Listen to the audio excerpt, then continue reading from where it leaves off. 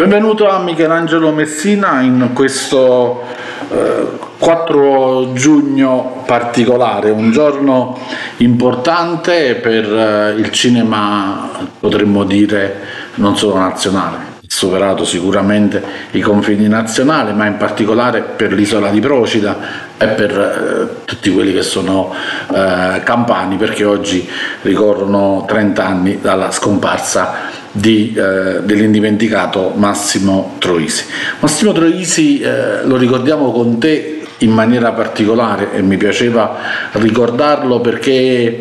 è stato l'unico che in maniera seria ha reso iconica Procida. È vero l'isola di Graziella, sono tante le immagini, ma il postino, il ricordo che noi abbiamo di quel film di Mario, della, eh, della, necessità di dover rubare i rumori del mare e poi di tutta la poesia dell'intero film, ovviamente eh, ha portato Procida eh, oltre i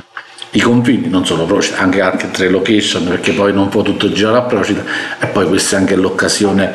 mi piace a me, di, ricordando Massimo Troisi, di ricordare un altro giovane procidano a cui eh, il cuore è sempre abbastanza legato, che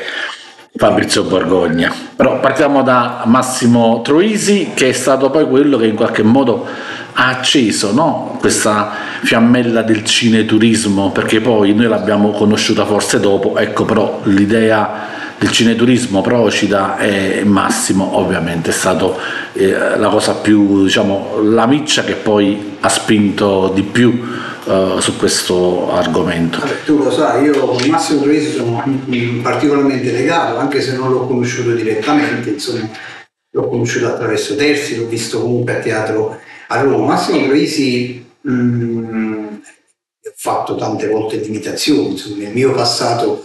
teatrale e cabarettistico esiste anche uno spettacolo che si chiama Aspettando Troisi, se ricordi, dove in piena bagarra serale nei locali schitani, praticamente da, dal Tamatoa al Charlie all'epoca, io irrompevo alle 11 di sera con questo spettacolo cabarettissimo in discoteca, fortunatamente senza avere mai una sedia addosso o altro, insomma, dove imitavo con lui. Massimo Troisi vedi è un personaggio straordinario nella, nella teatralità e nella cinematografia, non solo campana, nazionale e internazionale, che lui fa un, un esperimento straordinario che è quello di ehm, rivalutare l'identità culturale di un territorio, perché i suoi predecessori, ti parlo a livello teatrale, perché lui nasce comunque come cabarettista, se ne vogliamo sotto questo aspetto, però i suoi predecessori teatrali, ti parlo di Viviani, ti parlo di stati i due grandi capostipiti, non voglio parlare di Scarpetta perché Scarpetta aveva identificato in Felice Ciosciamucca, diciamo la maschera di Pulcinella e la tira fuori. Però Viviani che cosa fa? Viviani non esce fuori dai confini campani, perché lui parlava in un vernacolo napoletano e pertanto era limitato a un'udienza campana. Edoardo si inventa la doppia battuta, cioè lui scaltro com'era in quell'epoca per farsi capire dagli altri oltre diciamo la regione Campania inventa la doppia battuta se ti ricordi bene con Genzer quella porta. Vi ho detto chiudi quella porta proprio per farsi capire. Troisi invece rivendica una sua identità e riparla in napoletano con orgoglio cioè dimostra che il napoletano non è solo una lingua locale, un vernacolo, ma è una lingua internazionale, fatta di gesti, di mimi e di capacità. E questo gli si deve tanto, perché comunque voglio dire, ha riscattato un attimino un po' come il calcio, cioè voglio dire, dopo tanti anni, una città che ha una sua cultura, una sua storicità, pertanto va apprezzata sotto questo aspetto. È stato un lungimirante, come dici tu, perché soprattutto sul fatto del cinema, no? perché lui ha fatto delle opere nazionali che sono straordinarie, ricordiamo con Benigni, tutte le opere che ha fatto, dove diciamo un po' versione Edoarda eh, edoardiana lui ha cercato di, eh, come dire, con ironia di raccontare dei problemi sociali, non solo campani, ma anche, voglio dire, nazionali, come l'amore, insomma, eh, la difficoltà di un regime in, eh, in, in alcuni dei suoi film, ha trattato dei temi così, fino al paradosso che il suo ultimo film lui dimostra anche di avere una visione internazionale perché vi voglio ricordare che quel film, praticamente soprattutto agli spettatori, che il postino chiaramente fu candidato anche agli Oscar, se vi ricordate, soltanto insomma un po' con una venatura di sinistra se noi vogliamo, gli Oscar insomma sono in, in, un'altra ottica e logica, però aveva tutte le caratteristiche per poter anche vincere un Oscar. E lì chiaramente non, non solo ha fatto un regalo a Procida, perché gli altri luoghi anche erano straordinari dove ha girato, ma ha innescato proprio quel sistema di raccontare il territorio. E grazie a quel film, nonostante che Procida ha una sua storicità cinematografica che abbiamo sposato spesso insieme con Fabrizio Borgogna e su questo permettimi di spezzare una lancia perché quando io ho lanciato il cineturismo, cioè questo fenomeno a livello europeo che non era conosciuto, era conosciuto solo negli Stati Uniti, Nuova Zelanda, in Inghilterra, i paesi anglosassoni ne facevano già grande uso anche economicamente di, di rientro, l'Italia e l'Europa non sapeva niente. Troisi è stata l'occasione, voglio dire, di capire veramente quanto un territorio può promuovere. Ancora oggi se tu vai a Procida tu trovi file di giapponesi, cioè voglio dire là dove è stato distribuito, perché poi candidato agli Oscar ha avuto un'esplosione di distribuzione worldwide, come si, si suol dire, insomma eh, quei luoghi raccolgono, voglio dire, quella grossa testimonianza eh, di Troisi su quel territorio, lui ha girato anche a Salina e paradossalmente io che sono stato l'inventore del cineturismo in Italia, in Europa, eh, l'unica parte dove sono riuscito comunque a collocare all'epoca, adesso l'abbiamo fatto anche altrove, è stata Procida ai pannelli. Cioè con Procida noi abbiamo fatto uno dei primi esperimenti di totem illustrativi di un percorso cineturistico che ancora oggi reggono. Poi sono stati realizzati anche altre parti d'Italia, così come la app, la Movimap, la, la Cinetur, grazie alla sensibilità di Fabrizio Borgogno, perché avevo provato in vano a Ischia che ha una, una, storicità molto più corposa di Procida e delle altre isole e che non, mai, non mi hanno mai permesso di fare. Senti, eh, il postino lo ricordiamo, almeno io in particolare, per eh, eh tutta quella poesia no? che, che, che, è scritta cioè che, si legge nel sottotesto del film. Ma c'è qualche aneddoto in particolare, così lo facciamo per ricordare Massimo Troisi, che poi potremmo parlare di tantissimo di Massimo, no? voglio dire, io in particolare, già che mi ha dedicato un film, no? Gaetano, Gaetano, Gaetano, voglio dire, già questo potrebbe essere un motivo, ma a prescindere da, da questa battuta. Il postino cosa ha significato da un punto di vista proprio cinematografico per Procida e non solo? Allora, il postino a livello internazionale ha significato che comunque eh, l'Italia eh, era in grado di presentare dei film agli Oscar veramente competitivi e ricordo che Troisi arriva agli Oscar vuol dire quando eh, altri autori ci sono arrivati dopo in selezione, ti parlo di Paolo Trentino e degli altri successivi che, hanno Benigni, no, c'era rimasto dopo. Cioè, dopo,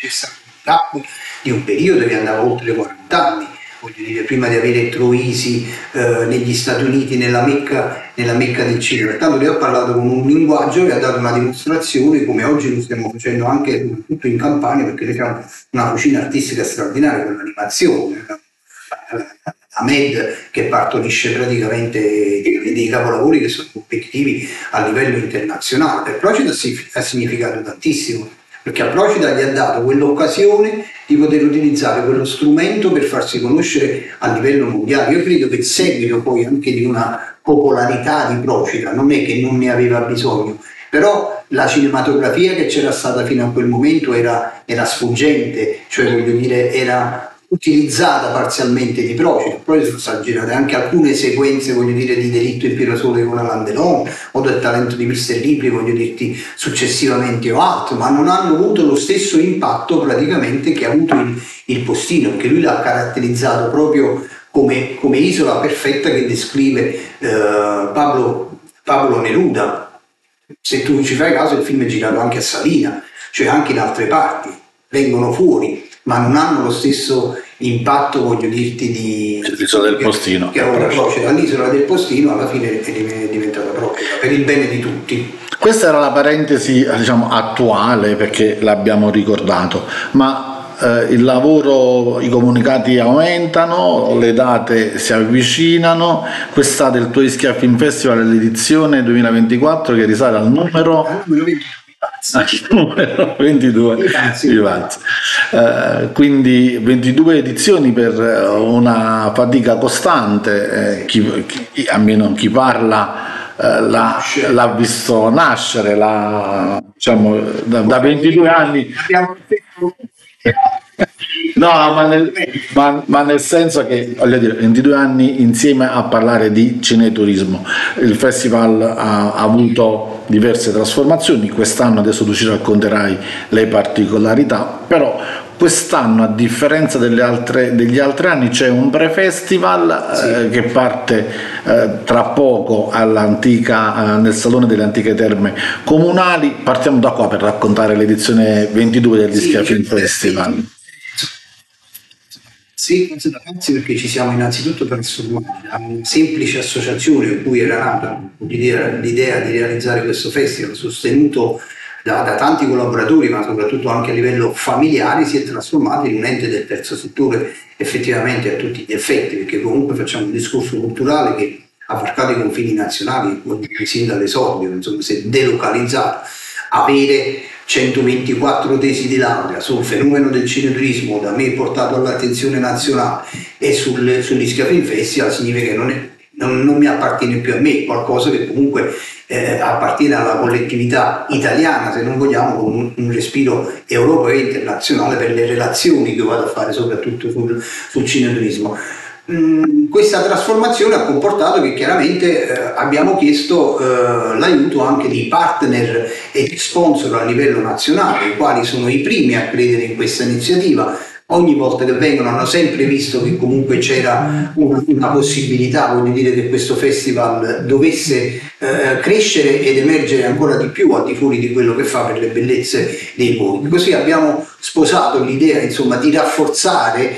ma non per me, cioè voglio dire, abbiamo i collaboratori anche nuovi, cioè voglio dire c'è una parte familiare che comunque continua a dare professionalmente il loro contributo dentro, ma abbiamo una struttura già totalmente eh, diversa di cui mi onoro eh, di farne capo, comunque ne sono, ne sono presidente, abbiamo come presidente onorario Gianni Canova che è una delle massime espressioni come critici cinematografici italiani, che è il rettore della IUM di Milano, il quale voglio dire non è che si, si si attacca a un, a un, festival così, anche lui ha, visto questa determinata cosa. Perché un'edizione da pazzi? Un'edizione da pazzi perché innanzitutto abbiamo messo un programma, devo dire, molto, molto forte, questo capita dalle annualità, ci sono degli anni in cui tu hai delle adesioni in meno perché insomma dagli impegni che hanno, quest'anno insomma siamo stati un po' fortunati, però abbiamo insomma un'edizione molto corposa di ospiti, anche di anteprime, anche perché abbiamo fatto una selezione naturale, da quest'anno noi siamo solo concorso,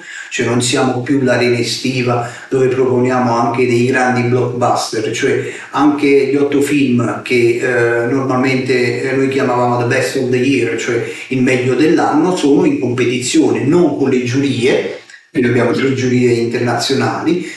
per la giuria del pubblico, pertanto sono stati selezionati otto film che già sono usciti nelle sale cinematografiche che verranno però valutati dal pubblico. Questo significa che noi avremo solo proiezioni che sono in concorso praticamente, o con il pubblico o con le tre giurie, una è dell'EFA, l'altra è delle critici cinematografici e gli altri è fatta da attori eh, e altro. Perché è nata l'esigenza anche di fare questa mostra pre-festival? È una mostra che vuole dare il giusto resoconto alla cittadinanza che ci ospita e anche ai turisti che arrivano di che cosa è stato realizzato in questi 22 anni, anche una forma di rispetto di coloro che ci sono stati vicino in questi due anni, perché a volte sai, sembra che noi eh, siamo arroccati su, su al castello insomma e facciamo quattro proiezioni e arrivano due ospiti, no, in realtà c'è un lavoro molto più corposo e mi sembrava doveroso dare la giusta eh, dignità a chi ha collaborato per far capire quanto abbiamo realizzato in questi 22 anni. È chiaro che anche un veicolo promozionale perché anticipa di una settimana il festival per i turisti che ci sono, ma soprattutto anche per gli isolani, insomma, giusto per capire questa invasione di campo che noi facciamo ogni anno tra gli schiaponti e il resto dell'isola. Senti, il trailer di quest'anno, qualche nome, possiamo cominciare a spoilerarlo? Sì, diciamo ufficialmente noi abbiamo la conferenza stampa il 14 che faremo da uno dei nostri partner storici, anche perché ci lega un film, insomma, soprattutto legato all'ecologia che noi continuo a dirlo fortemente, noi siamo un festival molto ecologico nei confronti degli altri per vari motivi, perché il pubblico può accedere solo a piedi, pertanto non c'è uso di macchine e ci sono diciamo, i parcheggi eh, a monte che danno la possibilità di arrivare poi con delle navette arrivare a Ischia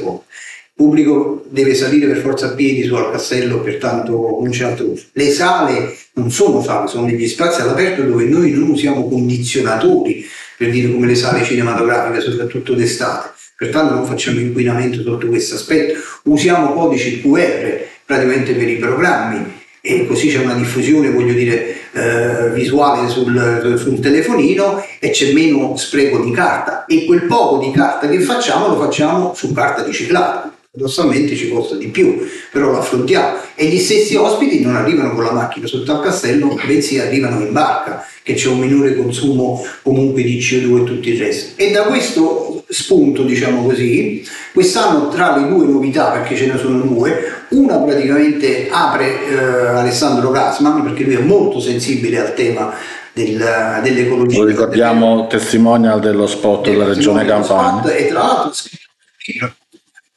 visione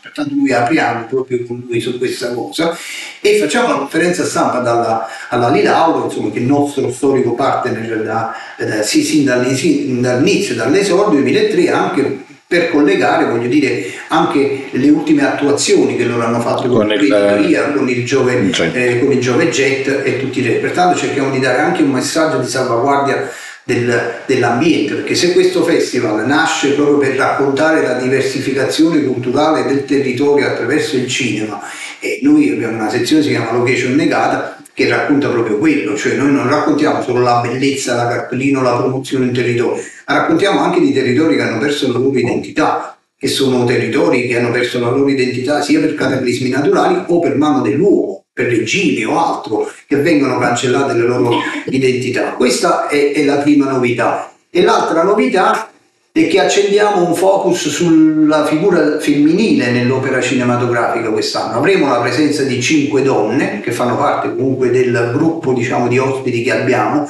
dove con loro accenderemo un focus sull'importanza della donna nella cultura in generale, soprattutto nell'opera eh, cinematografica, partendo dal presupposto che noi siamo nella casa di Vittoria Colonna, che nel 1500 una ribelle che crea un cenacolo culturale dimostrando un'egemonia maschile, voglio dire che la cultura era, era anche al femminile sotto, sotto questo aspetto. Eh, avremo la presenza di due premi Oscar, di un Globe d'Oro, eh, di quattro Davide di Donatello, eh, grazie al comune di, di Furio, al loro sostegno e alla loro volontà. Quest'anno iniziamo un dialogo con, con la Colombaia, voglio ringraziare personalmente il sindaco e la masterclass per gli impegni. Faremo 5 masterclass al mattino praticamente, dove porteremo nella villa dove è seppellito Luchino Visconti 5 grandi personaggi che passeranno per il festival, dove al mattino si faranno questo talk eh, di cinema con degli studenti universitari selezionati della IUM di Milano, partendo da quest'anno ci auguriamo di avere anche altre università, dove c'è anche la possibilità di una quindicina di posti ancora liberi praticamente, dove tramite un accredito praticamente gratuito si possono assistere a queste, a queste, belle, a queste belle novità. Pertanto veramente un'edizione da pazzi come Vabbè, quindi magari in conclusione a questo punto gli ricordiamo pure come prendere tutte le informazioni qual è il sito internet le pagine facebook i numeri di telefono il box office. Investimenti qualche settimana dal 24 sarà già pronto eh, l'InfoPoint giù a Ischiaponte che fa anche da biglietteria SIAI, aprendo solo il pomeriggio dalle 5 fino alle 23, sia per dare informazioni sia per altre cose. Poi è disponibile il sito internet che è www.ischiafinfestival.it eh, dove ci sarà anche la possibilità di fare un preacquisto dei biglietti anche online. Voglio ricordare che da noi non è che si accede comprando il biglietto per un singolo film, si accede comprando un biglietto per un'area, dove in un'area è raccolto dalle 20 e 30 alle 24 praticamente una serie di eventi che sono un incontro con un autore o eh, un corto, un lungo e un, un, documentario per dire, anche perché tutti i film che noi presentiamo sono sempre introdotti da un autore e da un critico cinematografico. Noi non facciamo question and che Gaetano ha preferito non il dibattito dopo, ma l'introduzione, perché a volte è difficile capire un film eh, soprattutto se sono sì. allora è bello che comunque ci siano proprio gli autori lì in prima fila che ti dicono il perché hanno scelto di fare questo mestiere o perché hanno deciso di realizzare quest'opera sia interpretandola sia eh, realizzandola. E devo dire ha trovato nel corso di questi anni insomma un ottimo leitmotiv per passare una meravigliosa serata sotto le stelle davanti a un grande schermo. Perfetto grazie e buona vita agli Schiaffin Festival. Grazie